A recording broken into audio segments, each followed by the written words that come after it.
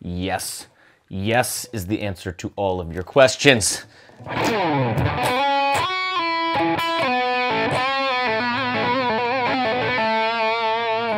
Ladies and gentlemen, Michael Palmisano here. And if you're new here, which I expect this video, video to bring in some new people because it's Nirvana, this is not your typical reaction channel, okay? We review live performances. So even though I know Nirvana and I know this song, I have not seen this performance. And I also start and stop, I know, don't freak out, and try to show you some of the guitar parts or things that I notice in the actual performance. So, with that being said, Nirvana was probably the largest influence in my musical life as that young, angst ridden adolescent. Yes, I was that kid. This was my generation. When, when, when Cobain died in 92, I know a lot of you are going to say this is complete BS. Um, I was in second grade and I didn't go to school for basically that whole week. And I know you're going to say, that's impossible. What about the parents? Who would let us do that? Who cares about? All I can tell you is that I cared deeply, deeply about music at the youngest age. And this had a tremendous impact on my life. Uh, not all positive, uh, to be frank. I hate I hate this microphone. Hit the button.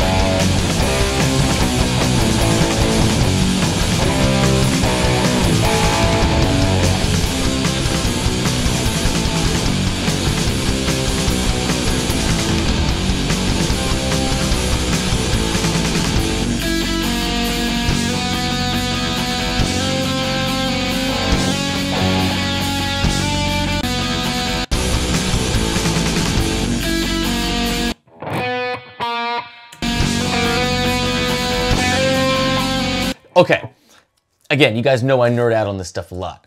God damn this thing. Pause.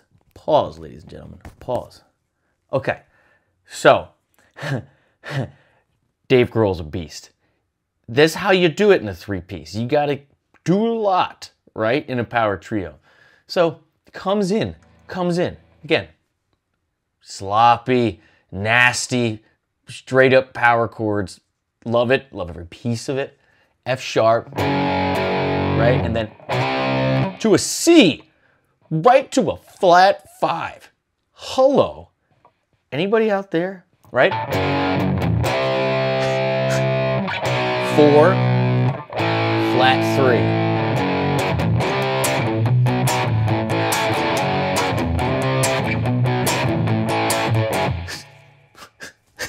the audacity. The audacity. And then, and then you got Chris Novoselic back there just, just punishing the F sharp. And you get Kurt coming in with, that's a major third, everybody. But then going chromatically, just no regard whatsoever. Oh my gosh, I'm gonna freak out. I'm going, I'm going to freak out on this microphone.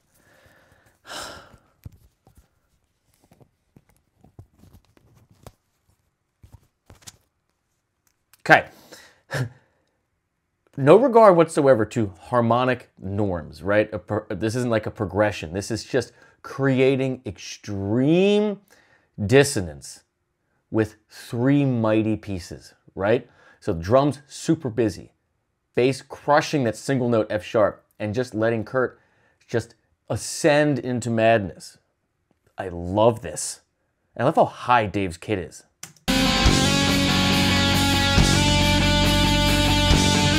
Tempo moving.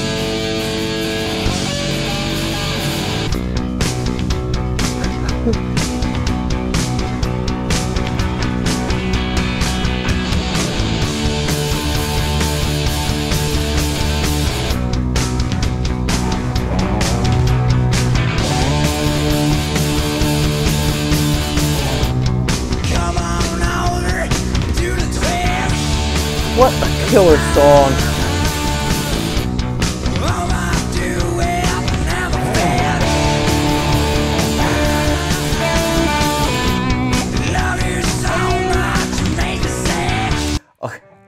And then it goes from B, right? Again, these are just power chords for the most part. B, clean, and then to D, a major third up, dirty. Very cool.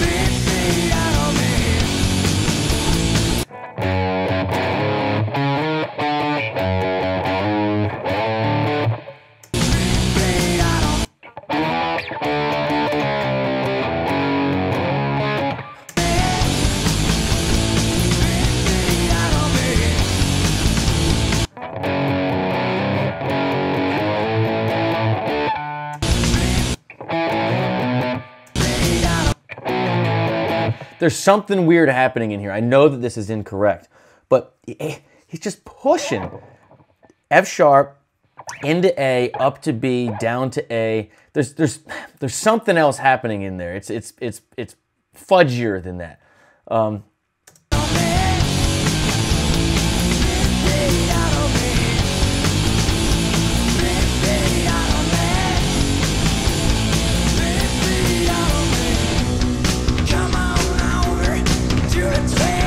Love Dave Fills.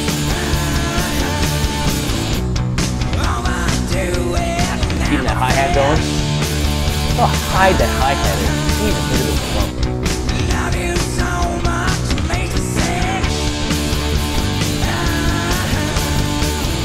See how he's doing that, the bass back and forth with his thumb?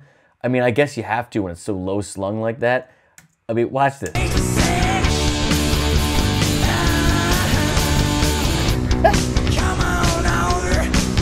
Doing is he now is he picking with the second and third fingers on bass here? Almost looking like he's preferring the ring finger. Look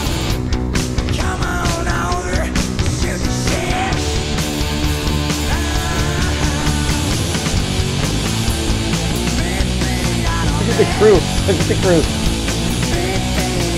Shoeless.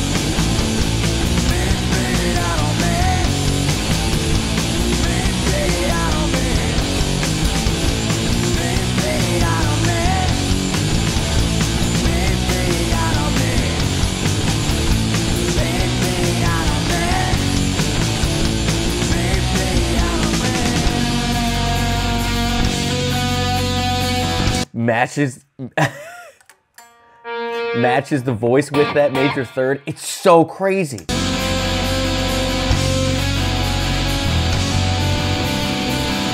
Bass comes in with the, the bass line.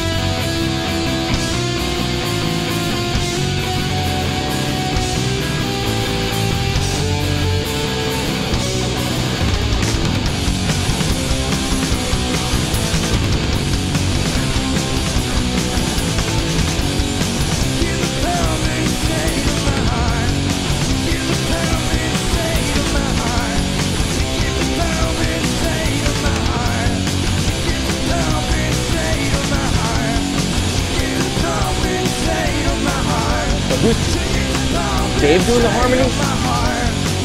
Yeah.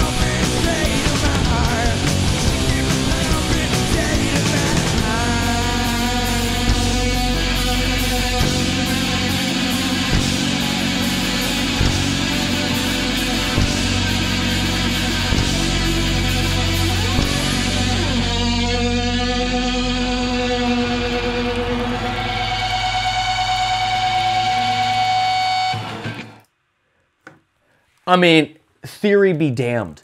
I love it. When you're a kid, there's something about being a teenager or like, you know, just over 10, but there's that magic window that whatever we hear that gets us hooked for life during that period, that's kind of, everything kind of comes after that. That's the foundation. That's the lens through which you view it all, you know, as you as you age. And this totally brought me back to the who gives a shit mentality, right? It's it's super aggressive, hard-hitting drums. Check. Lots of fills, open hi-hats, incredibly aggro. Check. Right? Driving bass that matches the guitar as a riff, right? Power chord riffs that completely defy conventional uh, harmonic structures, right? We're, we're taking a root in a fifth and we're just moving them at will. If it sounds good, it is good. Preach. And then his vocal melodies and guitar melodies uh, are so stop dinging me. They're so dissonant, but beautiful. And he only gets to do that because he's in a power trio. And the bass and the drums are just going to hold this slab for him to build something on.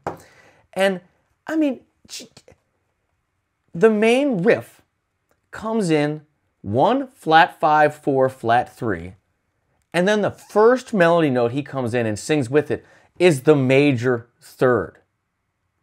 Do a lap, do a lap, do a lap, come back. Get out of your head, learn it, forget it, use it, love it. If it sounds good, it is good. I spend so much of my life teaching because I struggled with music theory and I struggled with my ear. And so I know that it works and it helps. But there's something about just being young, not being afraid, making a tremendous amount of noise with your friends, and just not giving a shit. I love it. I love it. I love it. And I love you all. See you soon. Cheers. What a wild video this is going to be.